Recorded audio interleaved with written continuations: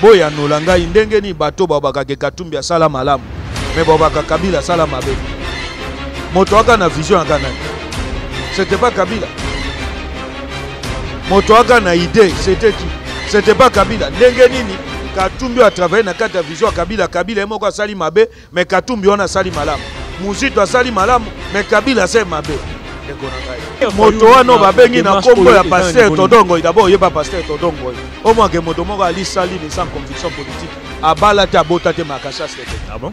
ti lelo alobaka wa bino nzambe alakisi ye mwasi oyo akoki kokomprete ndeko na ngai eyali bankomba ntaba soki ozwi moto moko ali kuna odombo bongo na ye ali mokie ye moko awa atika koteka drogue na poto mpo na minako odombo ali moko ya bakombata bato oyo bayaka kosacharne na félix tshisekedi ozwi moto lokola boketso ali na nationalité belge ali na passeport belge ye moko ntongo midi pokwa misolo ezowuta awa azozwaka yango na nzela ambassadeur ya congo na kati ya belgique bokoyoka ye afandi ezowuta na kati ya congo bato ya fcc bakoma contretenir bango ah, wana parce que kabila atikali jamais kozala na chemin ya kolinga congo chemin ya kabila ayaki kotravaille contre bacongolais ye abonga na mboka oyo congo epesi kabila nyonso mais kabila atiki kopesa congo eloka malonga te oyo nyonso tu kabila amoni akofuta biso ya kotravaille contre biso yango difficulté toali nango na est donc lelo oyo problème ya est ya congo nkombo na yango c'est joseph kabila mese james kabarebe na mese paul kagame ndenge baotala nga boye bayebi ke bango bato bali ya la base ya makambo ezoleka na est ya congo Ndeko ya liboso na koyebisa bayi kongomani lisanga bonganga ali ndumba ka bato bakobeta libaku lingala efo na utilize yango wana ali moto na bondumba nayebi te soki akaki mwasi doningaki to tye na to nini yango alege te lelo oyo soki namoni par exemple moto lokola basile ozwaka 68000 voix na 2011 comme député national okoki okay, koteka yango na kivice ministre epai ya kabila sikoyo lelo oyo otikali na rien oza ni député ni vice ministre mpo na survie ya libumu na yo olobi te nakatisa na camp ya nazongela félix tshisekedi félix tshisekedi ayaka na besoin azwa bakimpwaka te félix mpe ali na besoin ke no azwa mpe bamayo fort lokola bamatata bali na bafieve na bakindu akoki kolongwa mpe alobi ke nakatisi na ye na ngambo ya félix na ye kose repentir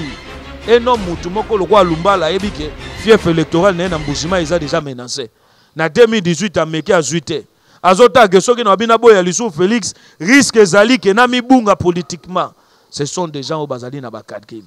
oyo biso tokoki kolinga te baya pembeni na felix epuis nayebisi bana congo bakokoka kodestitue ndeko felix tshisekedi te alobi ali na besoin tous les deux chambre ya congrès esangana naobaki yango baikongomani balimbisa nga soki mabunda amonike ali mwasi aka na cycle normal lokola mwasi amonaka makila na se na ye ou bien tambwe mwamba ali mobali basangana ba convoquer congrès tota bango esika bakokota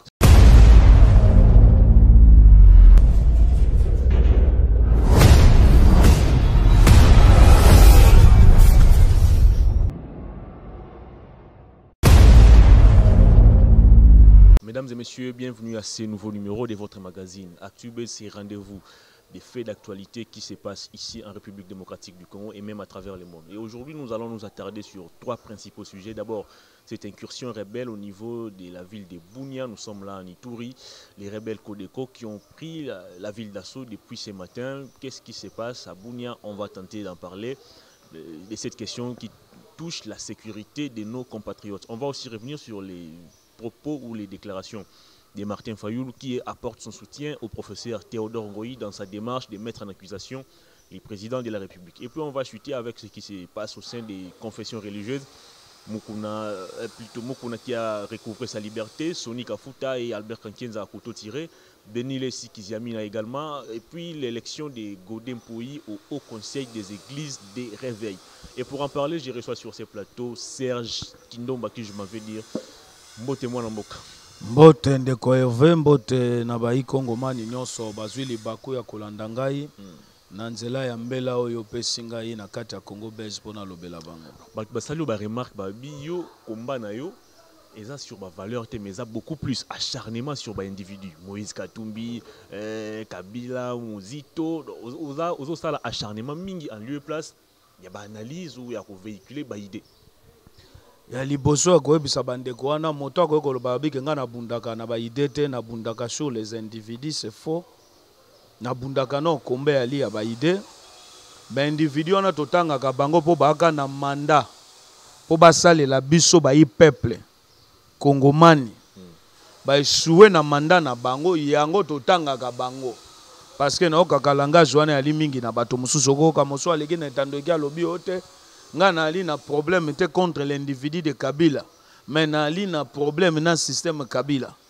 Mot, individu moto akreaka système et non système eyali kreye na moto donc système ekoki kozala jamais ke système eyali mabe mais individu eyali malamu na système na individu bayali moto moko oyoki yango parce que système eyali nini eyali structure oyo oti organisation mayo oyo olengeli yango nde tobengi yango système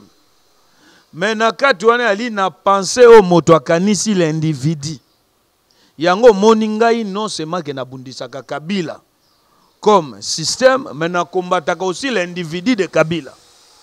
Sikoyo soki oye ozwi Mese Moïse Katumbi ye mpe ali na système oyo ye acrea mpo na nini ye awuti na système Kabila ou l'individu Kabila a parrainer les mafias de Mese Moïse Katumbi. C'est pareil aussi na Katumbi. Donc soki oyoki moto alobi bongo alobi que te ye apesaka ba idee te abundaka na ba idee te abundaka contre les individus ali moto ali na penche ya katumbi mpo na nini nakoki kopesa ondakisa moko ndeko herve ntango ndeko felix tshisekedi alobi azwi bokonzi alobi eloko ya liboso abi nini abi nakofuine te na passe Ba nani bali ba beneficiaires ya passe wana na Katumbi ali na kati soki otangi kombo na eyebisa nga mabe ali wapi ntango abiki akolandela ma, mayo elekaki na passe te bamiyibi ya mbongo lokola bamuzitu baki babeneficiare eloko wana mayo wana nyonso to yali bongo pourkui ndeko herve tokomisi opposition lokola lavage elamba donc moto akoki kosala mabe moto aboma bato ata kunda batoire ata james kabarebe lelo soki abe aye na congo akomi na opposition peuple akosala nini akobetela ye maboko wana ya lokola tolingi tondima ke peuple atteindre sommet ya kozala esclave ya baindividu sikoyo na mboko tozobunda congo ya normal mm. congo ya changement système ezozala incarné par les individus comme l'individu ya kabila incarna mabe na kati ya congo oyo ye imposa ye na mwasi na ye na libota ya kabila oye na bato basaka na ye lokwa bakatumbi bali babénéficiaire ya système kabila ou l'individu kabila parrainé le mafia donc euh, wana ali bato toloba yali ke mm. moto moko ali na ye moto akatumbi c'est tout à fait normal soki alobi ayebi ah, oyo ali contre leader na ngai po bango pe bakoma na batu moyibi ya mbongo me batu babetele maboko ya lokwa moko mosusu natunaka yo te na obi oyo ali elenge oyo ali na mayele boyanola ngai ndenge nini bato babakaka ekatumbi asala malamu me babaka kabila asala mabe moto aka na vision aka nani sete pa kabila moto aka na idee c'était qui c'était pas kabila ndenge nini katumbi a travaille na kati ya vision ya kabila kabila ye moko asali mabe me katumbi wana asali malamu muzito asali malamu me kabila asali mabe ndeko na ngai très bien tolobela actualité tozwa makambo ezoleka na est c'est que ali mauvaise foi na bato wana balobaka makambo ya bongo insécurité na est on en parle et on en parlera toujours ce matin tolamuki to apprendre que barebelle codeco ba bakoti na ville ya Bunia, ba s'emparer na ville, batambola paisiblement. Alors pendant ce temps, ba service na biso ya sécurité bazo sala nini et puis bino lelo bozo soutenir combat ya Felix alors que bandeko ya, ya, ya poto bandeko ya diaspora baza ko accuser Felix kozala ko entretenir actuellement insécurité aux na est au par le passé ba ndeko attribuer na Kabila alors lelo yo d'abord Ba euh, nano ba appareil sécuritaire na biso ezo sala nini face ya insécurité oyo ezo ezo ezo continuer ko menacer est ya pays na biso et puis Félix Tshisekedi oyo alakaki biso ka otya état major na est mpona ko lutter contre insécurité est-ce que lelo oyo tozwa maloba wana kaka lokola simple slogan ya campagne to Eza realite oyo peut etre eko salema dans les jours qui viennent. na lombango nabanda nao na eloko moko olobi fo koexplike bayi kongomani esika oyo ngai na bato mosusu toyokanaka te na bango eyali na nini ntango ozoloba makambo etali este ya congo kopresente yango te se comme se eza makambo ebandi kaka lelo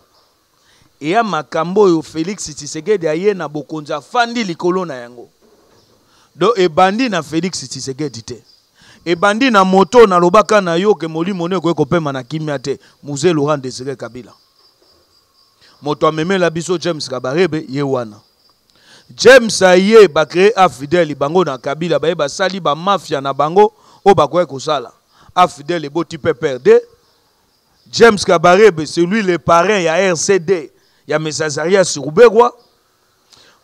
RCD eboti ba CNDP, eboti ba M23, eboti ba branche nyonso ekoki koopere na kati ya Est. Eyali makambo Felix Tshisekedi akuti, eyali makambo Felix moto aye na yango te. Lelo mouvement moko te ekoki kosalema na Est ya Congo ya rebellion. soki okokuta soit il faut awuta na afdel soit branche rcd cndp m23 ou soit branche pprd donc y compris ozwi bato lokola ba roger lumbala bambusa niamusi donc bango nyonso tu bali pour avoir trahi plutôt la mémoire ya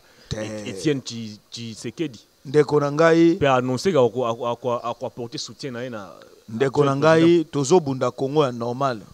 lokola elenge moko abundaka etumba christian bosemba abundaka congo ya normal ya logique omoni ba antivaleur na makambo eza normal faut pas bosoutenir bango bato bazobunda bitumba ya baconviction ya mabumu na bango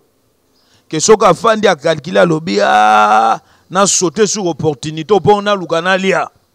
bali bato faut pas koencourageaka bango félix abundi bitumba na ye ya solo lelo ekosala bakongomani mpasi ke soki félix ake kosangana na bato lokola balumbala moto azali sans position sans ligne sans conviction politique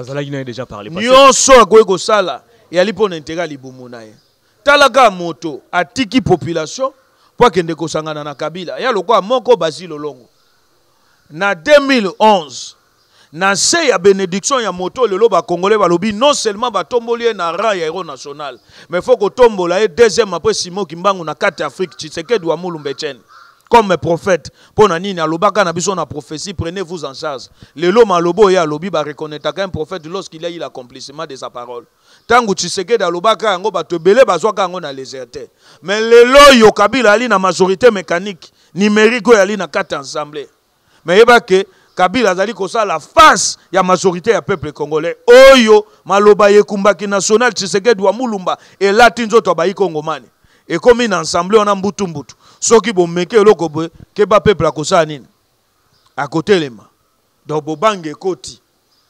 donc lelo oyo soki namoni par exemple moto lokola basile ozwaka 68000 voix na 2011 comme député national okoki koteka yango na kivice ministre epai ya kabila siko lelo oyo otikali na rien oza ni député ni vice ministre mpo na survie ya libumu na yo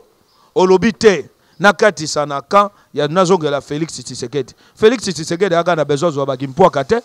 Felix ba ali na besoin que non azwa pe bamayo fort lokola bamatata bali na bafieve na bakindu akoki kolongwa mpe alobi ke nakatisi na ye na ngambo ya Felix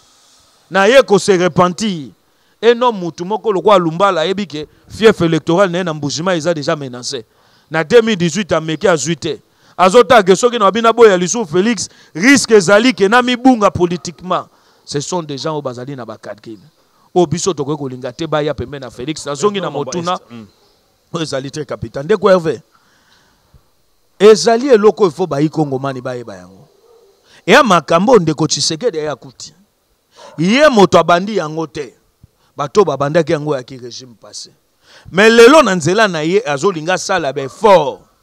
ya koluka kopesa kimia na este ya congo bakombata ya poto bazoreconnaitre baeffort oyo oza koevokndeko na ngai eyali bankomba ntaba soki ozwi moto moko ali kuna odombo bongo na ye ali mokie ye moko awa atika koteka drogue na poto mpo na minako odombo nde nani Odon Mbo ali moko ya ba combattants bato bayaka ko s'acharner na Felix Tshisekedi.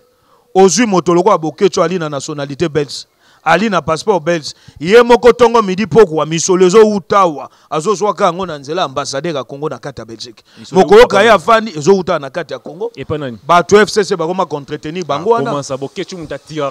Ndeko na ngai azwa sumbunga yoka, fcc yoka bato oyo akomi kobule mikolo sur bango soki afingi felix akofinga bemba akofinga fayulu yebisa nga moto abundi etumba ya changement etumba ya changement ya bakongole toyaki nini tolingaki ete kabila asala nini ala libanda soki omoni moto abundelaki changement ali contre felix tshisekedi yebaki ali moto ya fcc mpo moto abundi mpo na changement lelo oyo Ba signaux forts ya changement yali komonana na nzela ya ndeko Felix Tshisekedi. Nazonga nao na motuna na yo avant nakotela yo na profondeur ya ba signaux forts ya changement. Ntango bolobi ke alakaki akotya Akotya base etat-major. etat major na ye kuna na est ya Congo mais mandat nano esili te Mais bandeko mpe bazo continuer kokufa. ti lelo oyo ali Insécurité ezo nalobi persister. na yo ke ndeko Felix Tshisekedi alalaka te pongi soki ali na eloko esalaka ye pasi ya liko travailler sur kimia ya est ya Congo mais bobosanaka te bato bali à la base ya eloko wana ntango ozomona ke no James Kabarebe abangi Congo te ayebi ke Joseph Kabila ali na mboko ayebi ke Rubeo ali na mboka o mais akebisa Denis Mukwege mpo na koyebisa ye keba na yo asali ye menace de mort elingi koloba ete bayebi maye nini oyo basaka na est ya Congo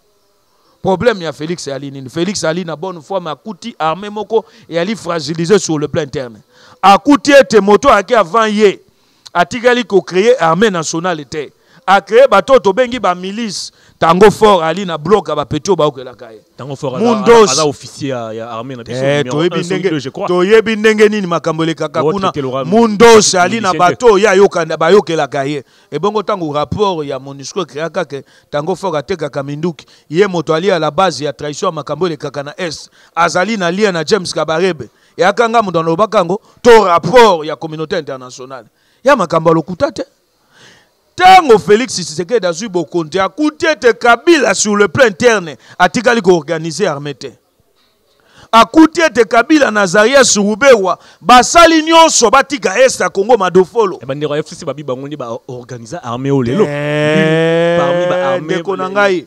les plus puissantes ya afrique armée les plus puissantes d'afrique moko ba armée puissante ya afrique ndeko herve na kana respect etumba na yo sans engagement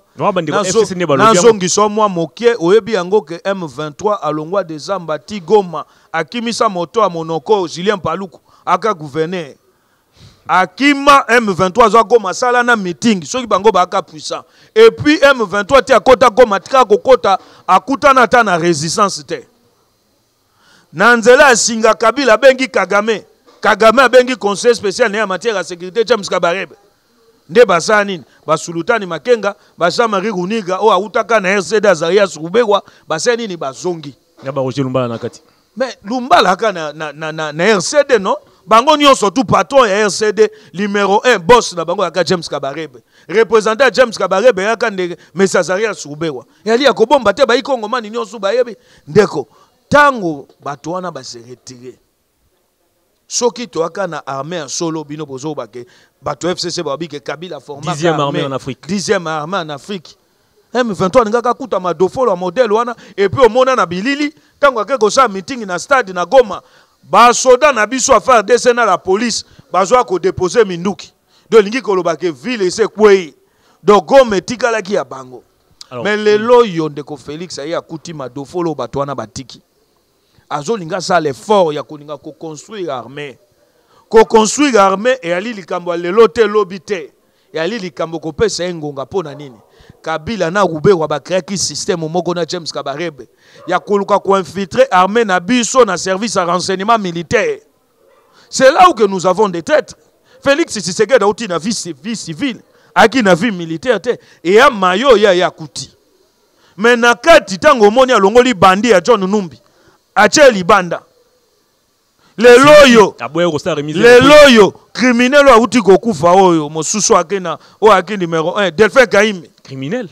mais criminel bato wana bato bayaki ya la base ya makambo elekaka na est ya congo soki oyebi te oyo ayaki na renseignement militaire yali moko ya beforo ndeko félix tshisekedi ali kosala donc mpo na koyebisa bayi kongomani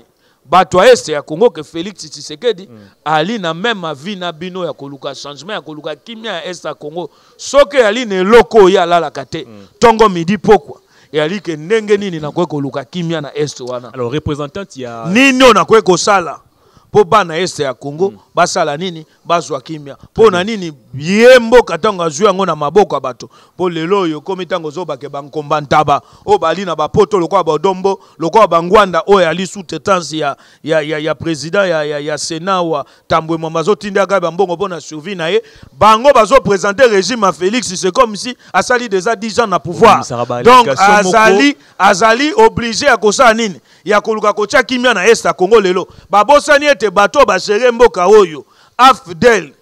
na james kabarebe oyo aforma henri mova sakani oyo aka kadogo baformaka epa james kabarebe oyo aka chef na ye ntango baka na zamba na front kuna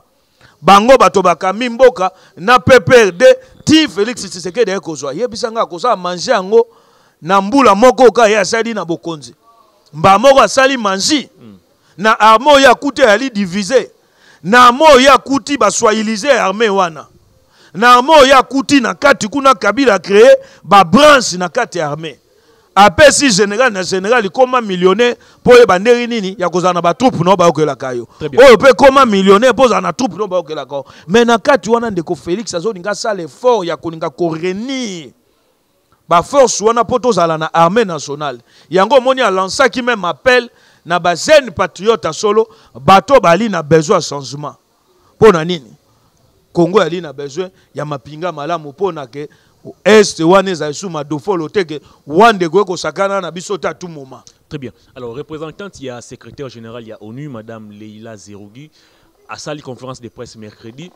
alobeli makambo ya insécurité na est alobi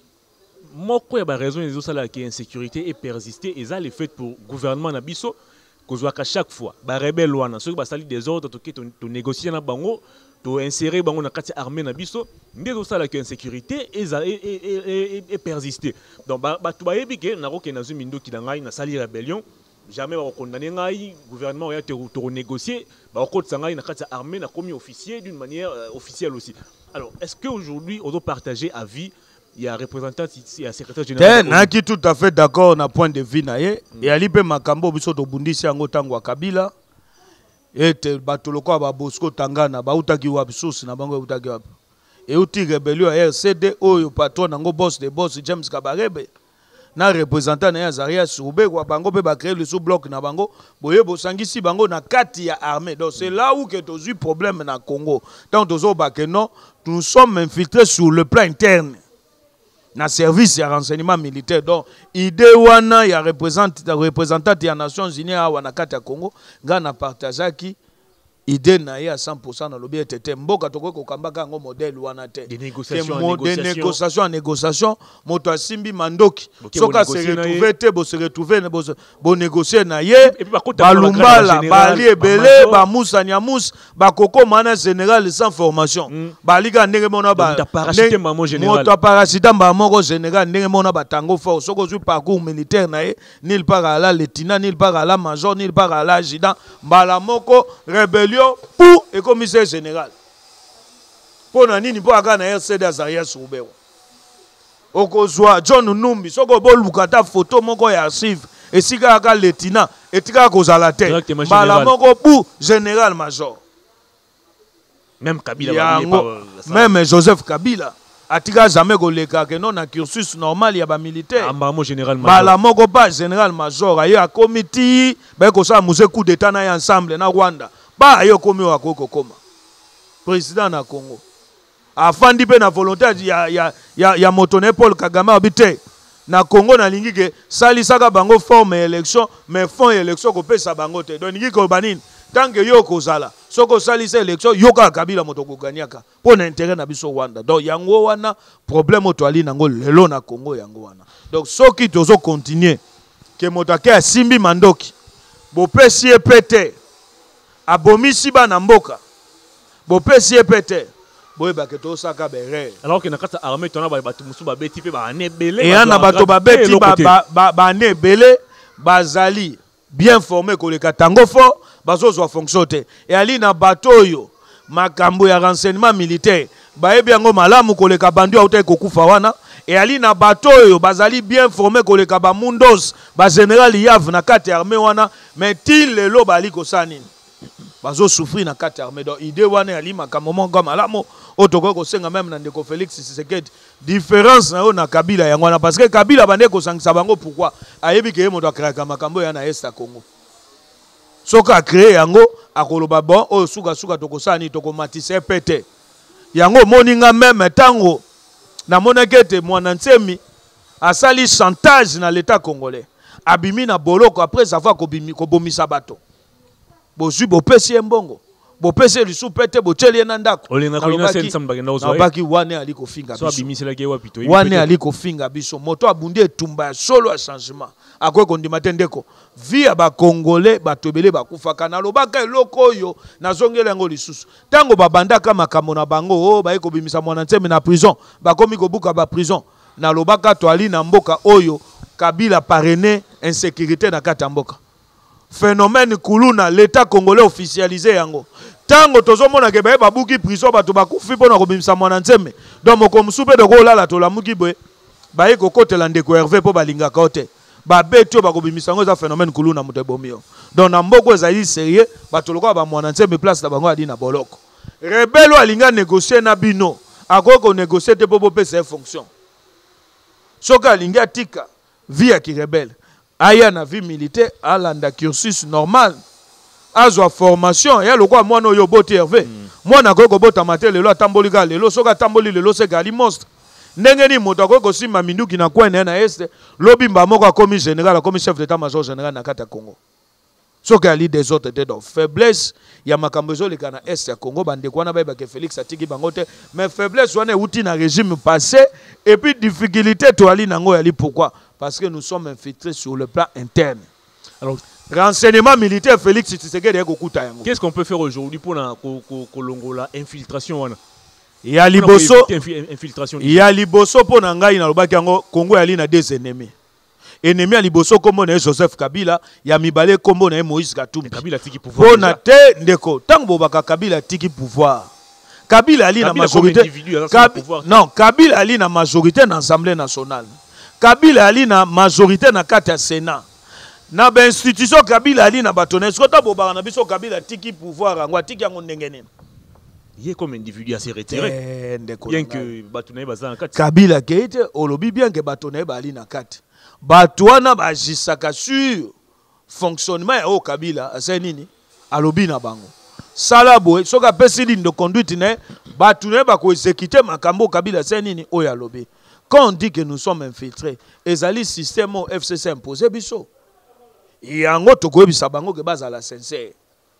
Soki bali sincère parce que Kabila atikali jamais kozala na chemin ya kolinga Congo.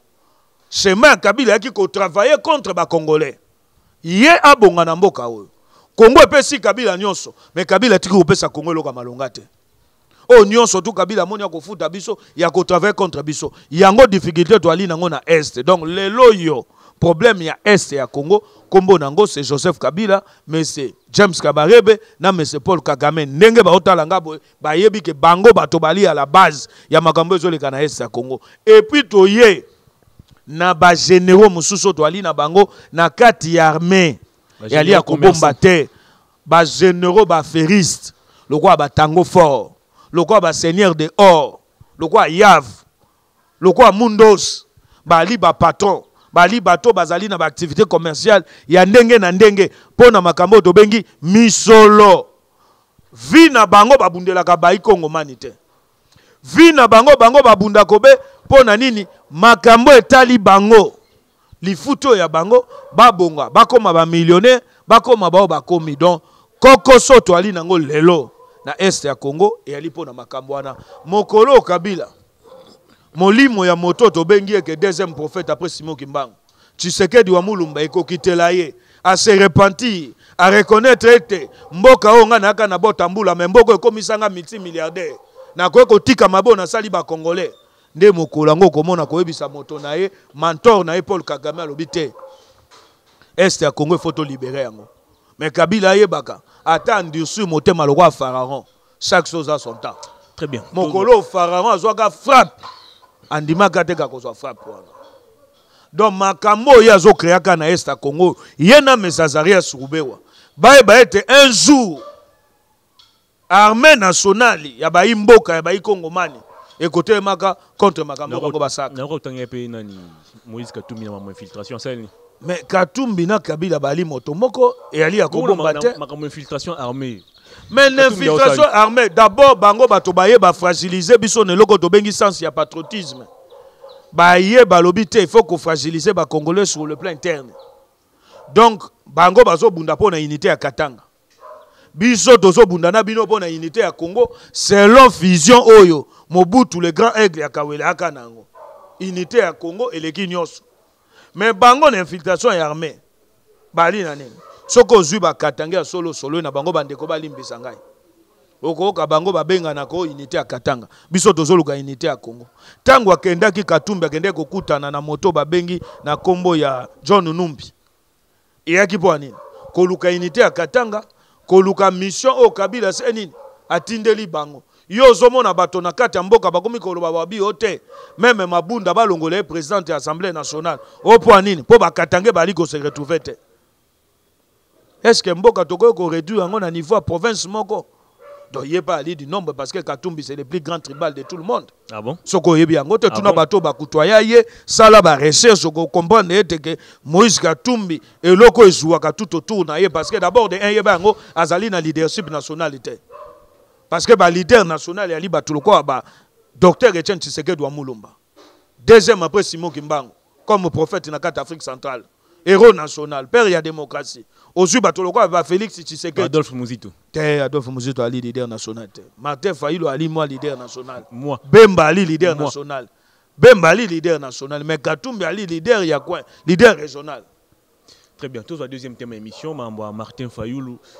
Démarche à Martin Fayoulou, soutien au apporté na professeur Théodore Ngoyi, na démarche na ya mise en accusation ya président de la République. Lecture nini osala na euh, likambuana? Ya liboso na goye koyebisa bayi Congo mani esaki nga pasi nanu komona ete na etumba oyo ya Martin Fayoulou akei kosangana na moto oyo balakela mabe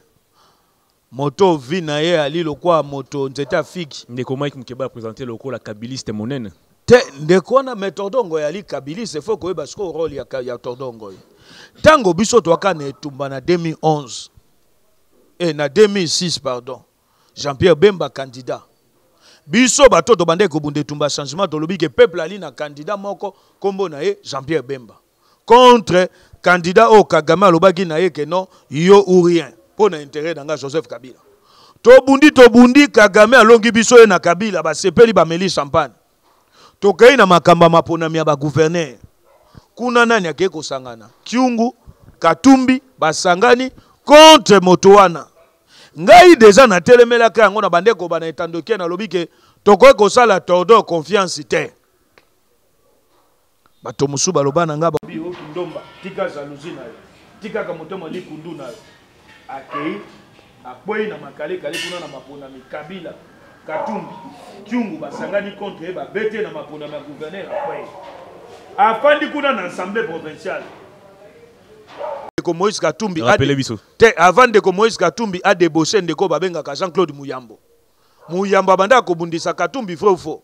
abanda koyela biso ba revelation na etando ike hey, eh, katumbi ayibi mbongo katumbi ateki ba concession minier katumbi asali boye muyambo ah, kasi yango problème ya l'homme politique congolais ndeko na ngai bato bazobunda makambo ya mabumu bazobunda intere ya mboka te sikoyo ntango tobunda modele wana muyambo azobundisa katumbi oyebi katumbi akosala nini moto ya liboso katumbi akozwa mpo abundisa muyambo nkombo na ye todongo akomi koleka na contre verite na makambo oyo eh, jean claude muyambo abandaki koloba akomi kobimisa baverite ya somo katumbi atikala koyiba te me na ebandeli moto ya liboso abandaki kokritike katumbi ye paster todongo baye koya ti toye kokoma esika tokomi toye koya na maponama 2011 na 2018 moto afutela ye misolo mpo azala candidat président ya, ya, ya candidat président mbongo wana ebima na nzela ya inss parce que agape parmi baavocat conseil ya niasi mwadi ya inss bango bato babimisa misolo na nzela ya fcc mpo na koluka kokabola bavoi mpo na kotinda kamikaze atordongoi comme eh, candidat président tokei na maponami peuple alobi ali na de candidat bali na ndeko fayulu na ndeko félix tshisekedi na kati na bango oyo akoganye ye wana nde candidat peuple tokei ndeko félix tshisekedi abeti bango nyonso tu mokato bakwei ndeko fayulu azoboya yango ti lelo te ndeko na ngai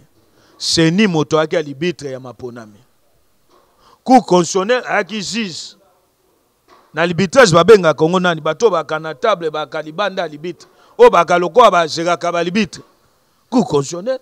akataki makambo toye kolandela toye kokomprendre ete paster wana tordongoy ayaki avocat conseil ya benon lwamba président ya cour constitutionnelle akoyebisa benoit lwamba nini alobi te estce possibilité yali te ke kabila atikala na ye nile na yo maponami Compteur ezonga à zero, Kabila vanda lisusu deux ans. On a mutalo bibongo. Tordor moto proposa ka yango na Benoît Lamba. Ozana ba preuve. Makambo na ali koloba no beleme ali. Tango bayi Kongo mani bayoki bongo to mobiliser population tolobi ah balingi bayi babino victoire. Na nzela ya nani? moko ya bato kabila atyelaki biso asepeli te alobi te il faut kaka baanile maponami wana mpo na nini manque ya bapv manque ya bapreuve Cour constitutionnelle ata kobaka ba robot ya Kabila basali mosala na bobangi balobi te moto azwaki na maponami nkombo na ye ndeko Felix Tshisekedi bapublie aye koya eloko ya mpasi yali nini komona ndeko Fayilu na etumba na ye ya kokende kosangana na kabiliste moto vie na ye mobimba sacrifie yango mpo na kabila todongoye moto azali à la merci ya fcc survie na ye politike eyali lie na baintere ya fcc aye asangani na yo mpo apesa yo ndakisa mateya aloba te ndenge ali wana tokoki kolonga te bakoki kolonga te epuis nayebisi bana congo bakokoka kodestitue ndeko félix tshisekedi te alobi ali na besoin tous les deux chambre ya congrès esangana naobaki yango baikongomani balimbisa nga soki mabunda amonike ali mwasi aka na cycle normal lokola mwasi amonaka makila na se na ye ubie tambwe mwamba ali mobali basangana baconvoke congrès totala bango esika bakokota so lelo intérêt ya fayulu na démarche oyo ya ko destituer president eko za na niveau ni parce que soki ba destituer president lelo eza Fayulu te mutu ako ako remplacer et ali ni Fayulu ni moto wano ba bengi na kombo ya pasteur Todongo d'abord yeba pasteur Todongo au moins que moto moko ali sali ni sans conviction politique abala te abota te makasa c'était ah bon ti lelo alobaka bino nzambe alakisa ye mwasi oyo te akoki koconvaincre donc ye mpo abala mwasi ifo nzambe alakisa ye mais soki olandeli ye olobi ah, osala baexamen okomona ye nil par ndenge ali wana paster todongoi abala aza chaste yo soki moto ali paster nde ali epesi ompifo wana koloba keno afo bala efo bapesa o conviction ah, ndeko na ngai atikali wana alongolaka bilamba liboso abasi azokosaka bato boyoki yango intérêt na bango te maintenant eh, eh, pourquoi olingi obangisa yango oloba allégation ya ballégation grave non grave kotya yango grave te oyo ye nde demarche oyo ali kosala avant kutana na bangunza na bakisimbi na makambo oyo ali kosala nde ali grave ngai nalobi kaka mpo na bato bayebi ete bayebaka alobaka ti lelo abala te abota te deja moto ali na rapport ni moto azali na moto azali na nous te convaincu moto azali na convaincu te na choix ya kobala ebongo na makambo etali mboka akozala convaincu moko nini donc biso obengaki yango tobe azoluka base susi na ye ayaki totanga nkombo na ye ndenge totangi nkombo na ye awa Yango wana souci na ye. Soki otuni existaka wapi politiquement nulle part. Ali moto azali à la merci FCC. Soki otuna ye soki babi ba destituer Felix. Bango bako gagner na nini? Bino bolingi ke tambwe mwamba na mboko azonga sous.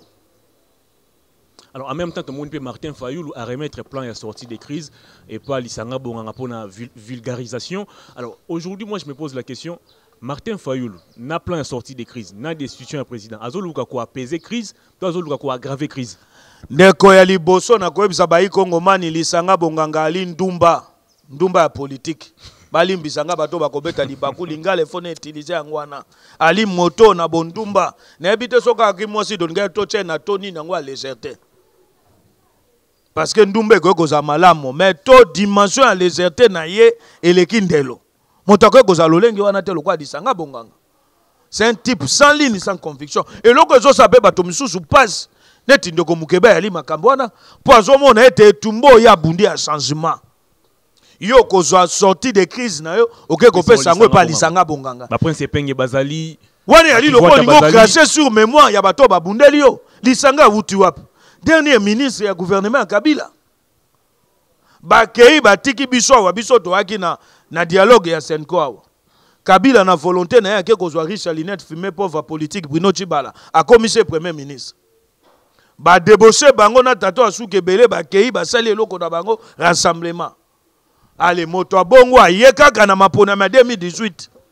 nde azongeli bino ale bolobi te lisanga lokola yo outaki kuna kabila apesaki yo bapete okomaki ministre d'état yaka awa mpe biso mpe tobakisolo esu bapete zwa plan ya sortie de crise yo otambola na yango élection 2018 lisanga azalaki candidat na na konti ya ndeko na ngai eloko toali koloba herve eloko ebomi classe politique ya congo yango oyo toali na bato bazali sans conviction politique sans ligne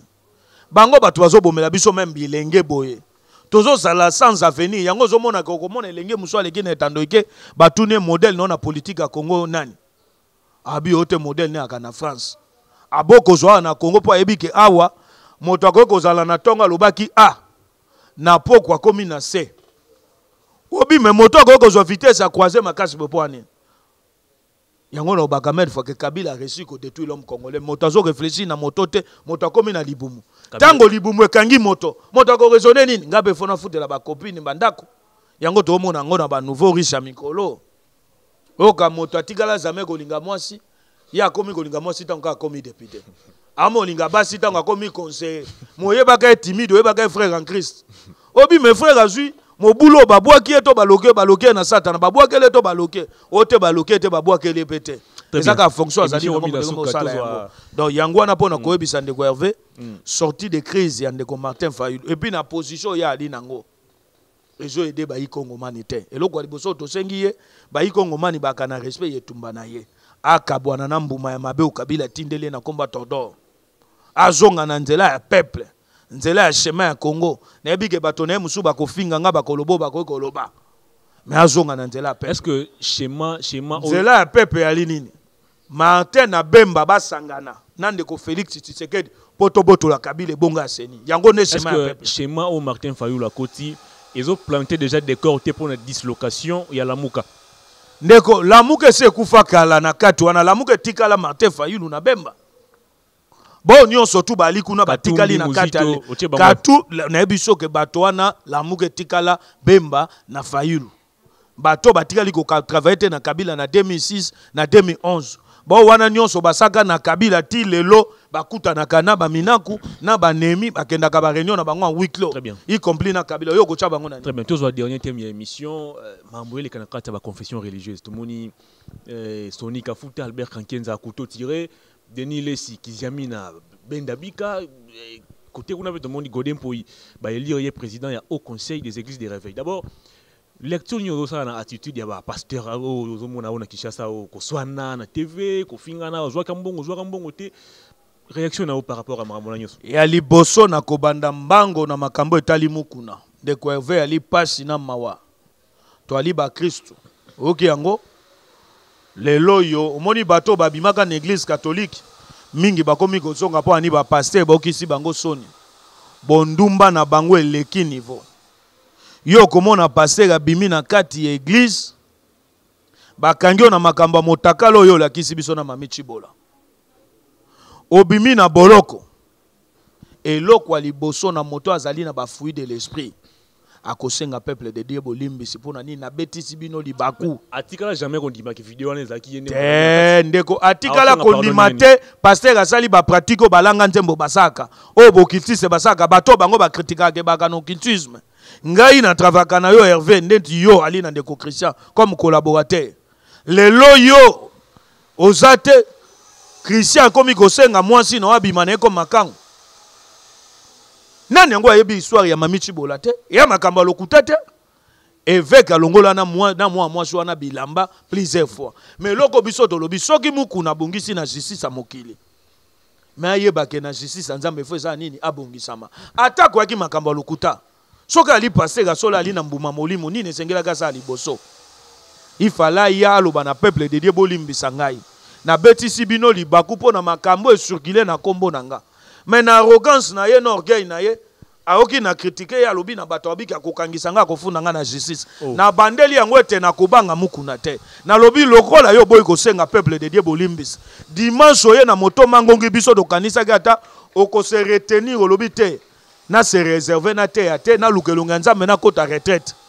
ou bien na pemi nanu na luka elongi ya nzambe na luka orientation divine mais yo olingi olakisa biso ete nzambe akoma leki na yo yo okoma yaya ya nzambe dieu n'a pas de petit fils dieu ake de fils yango nalobi ete naloki eglise ya seka bandimi oyo oh. bwali na kati ya seka boyebake nalakeli bino mabe epuis bokauki oh. spirituellement ekokota na kati na bino ngai moto naloki yango basali yo nini naloki yango ndenge naloki eglise ya godin mpoi nakomisa yango moke natya yango na kati ya tija boite alimete ndenge aza na evoluaka te sur le plan spirituel nayebisaka godin mpoi soki amoni ete ye ali na nzambe ya solo bakonfronte ngai na ye ndenge moko mpe nayebisindenge moko mpe natika nono bamessage oyo ali te capital ndenge moko nazoyebisa mukuna ke soki ali mosene na nzambe ya solo natie ye liboso ya mondenge nalobi yango na etando ike ye azolinga akende na ngai na justice ya mokili me ngai nameme na justice ya nzambe nalobi ete nalaki leglize wana mabe bokauki na deklare yango na kati ya seka bakomonaka loboko ya nzambe te ti mokolo mokuna kosenga bolimbisi nde nalobi na nzambe zongisa loboko no na kati ya seka soki atie tembe fandisa ninga na ye awa na plateau tozala na ye deba oki okay.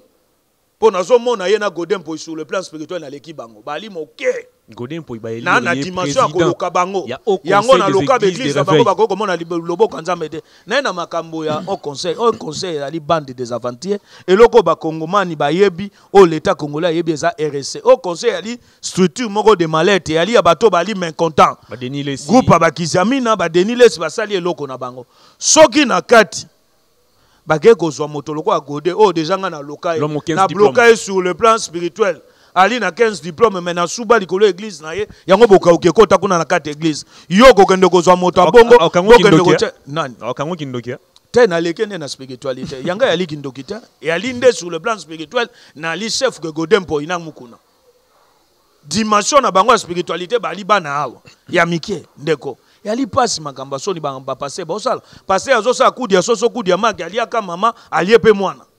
lokola makambo mokuna osala koto na afrique d'ici lakoseli mwasi makambo o non adivorce na mwasi mpo na mwasi akometa dite mawa ye moko azwa abizaka na bana bato ntina makambo ya mamichibola epuis akosenga bolimbisi te Pasteur ali na ba magui ali na ba mafia. Tobisi bango balinga Nzambe. Dieu n'a pas de petit fils, Dieu a que des fils. Mayo bali kosala ali bosoto soni yango moni moto alongwe na kati église de réveil pona nini azonga na catholique. Kwa moni ete kuna solution na kozwa te. Mwana bato ayaka vierge na ndako na bango akomi na aseka akomi de vierge. Église ezali censé batela moto, mais église eke détruit moto. Yango moni na kolemba te kolokaka bango. kokanga eglise wana sur le plan spirituel naokaki gode mpo asali lolenda alobi ye kindomba amonaka bandimi oyo nali na bango te nayebisaki ye wana yali croissance numérique bato bakoya mpo okoma président assemblée provinciale ya kinshasa bazoluka bakota deserka bazoluka bazwa misala yango baolanda yo mais sur le plan spirituel nde nabloka bato wana ntango ye moko akomonake apesi dime apesi ofrande azopambwama te sukasuka akosala nini akolongwa akolinga kende siko bakopambola ye dimension wana mm. nga moto nali nango yango wana mpo na makambo etali soni kafuta na albert kakenza nabengi no ndeko na ngai sozo bamakambo ya bapaster denis lesi mukuna gode mpo etyaka bango na meme lo ba bato esi balukama na tordongo epe tie na meme lo wana bali bato yo okoki kotya bango te na liso ya bapaster soki babeta mazo ya bapaster eseye donc oyo ngai nakoki koloba na soni kafuta ali na manda na albert kakenza nalandi soni nalandi albert makambo bakomi kolobelaka biso na etando ike ezosala soni o oh, koto oyo ngai nayaki te mpo napesa 50 mille o oh, koto oyo o oh, no yo kokombatre biso baluba te nayebi oyo ali moswahili yali soni na kati ya eglize e biso otali biso yango etourne kaka autour ya mbongo autour ya mbongo donc intérêt ya lola eza te ma entre ta bino boteyi bandimi mingi ka kobonga na lola yango ozomona faiblesse na bandimi ya congo bapaster bayebi kata abongi awa te na paradis kuna bisengo na bisengo tobengi bango na eloko babengi bon sens balinga teke bosoto na bango ekoma na place publique yango omoni bato mingi bazongi katolike meme na poto mpo na nini mpo na baaventure na bino ambongo ah, ndenge ali wana akoki kozala na maincontentement ye ta mosusu na sole bazokana te mai bakoki koya nango te na place publique bali na mwa sagesse bino bolakisi biso ete bino boali mpo na intere ya nzambe te Boali mpo na intere ya bokonzi ya likolo te, boali mpo na intere ya bino moko. Yango na kati na bino boyokani eyali te. Me soki bazoyokana te, bakeba. Nabaki na motu moko, vaut mieux malediction ya kimbangu bakoki kolimbisa yo. Me soki ke ekumbaki national Tshisekedi wa Mulumba alakeli yo mabe, keba na malediction na ye. Emission esili alors dernier sujet là même pas sujet mais ndeko Christian Bosembe biso tozo pousser a postuler na poste ya president provincial ya UNPC ville ya Kinshasa pour remplacer Jean-Marie Kassamba. Ya liboso nayebisaki na bayi Kongomani nalobaki yango na etando ike longonia na ye ndeko Christian Bosembe courage na ye Nzambe asunga ye ali na soutien na biso nabengi bapanzi sango nyonso tobengaka ba journaliste candidat na bino ya ville ya kinshasa ye wana na nkombo ya christian bosembe tolingi renouvellement ya classe politique tolingi mpe renouvellement na secteur wana mpo na nini lelo journaliste azali moto azali sans valeur journaliste azali moto bazo respecte te ali na limemia te mais soki bozwi ndeko christian bosembe bakoki kokanga journaliste te politicien akofinga journaliste mandia te soki ye akomi na moto ya ville ya kinshasa alobi ke agere institution wana parce que faiblesse na biso yali nini botiaki moto moko auta na ye poto ayebi réalité ya mboka te akomaki wana jean marie kasamba tala manda na ye combien de journaliste bakangi combien de journaliste oyo bapoliticien babwakeli meme na basoyi combien de journaliste oyo meme bamutakalise bango asala video ya mwasi atindeli yango politicien nyonso to yali ya nini mpo na nini na sommet toyaki na moto ayaki na problème yango nasengi balingomba nyonso baorgane nyonso tu ya presse ya congo ya kinshasa To soutenir ndeko Christian Bosembe. Azali choix ya excellence, choix ya changement pona domaine oyo etali ba journalistes, pona respect ya ba journalistes, pona consideration surtout ke ali lisusu jeune, ali na makila na mayi, ayebi pe mosala na ye malamu parce que ali na eloko oyo. bokoki ko douter na ye te parcours soki ozwi parcours ya Christian Bosembe ba place nyonso to aleka okosentir que excellence sur excellence et puis 13 ans de carrière na kati ya mosala en tout cas nasengi bandeko nyonso oyo tozokonscientisaka bango ntongo midi pokwa ya kolanda kosoutenir ndeko christian bosembe toswete ye bonne chance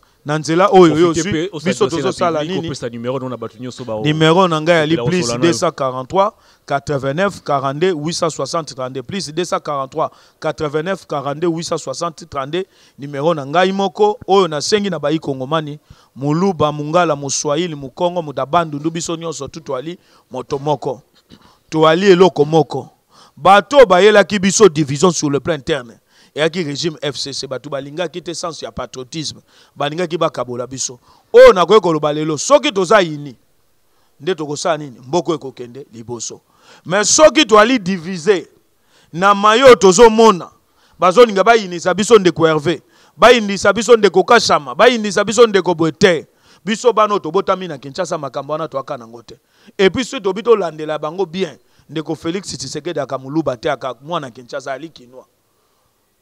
Oyoki ali kinois soki ozwi lingala na ye na mukuna okosanti ke difference ya ali mukuna alobaka lingala baluba Felix Tshisekedi alobaka lingala ya bakinois donc ali mwana Kinshasa kinois elobi nini? tozali ensemble ya ba province nyonso tu tosangana toalaka te ko nga nakoki koyokana na herve te mpo ali ndeko na nga te te makambo wana yali bakuyakuya bato bayaka nango regime ya fidèle ya barimo vasakani bango bato bayelaki biso makambo wana kimia na mabota na Serge Kindomba merci de votre disponibilité ngai mpe natondi yo botondi ainsi prend fin cette émission qui a connu la participation technique de Jacob mais aussi à vous fidèles internautes je vous dis merci pour votre sympathique attention au revoir d'ici là portez-vous bien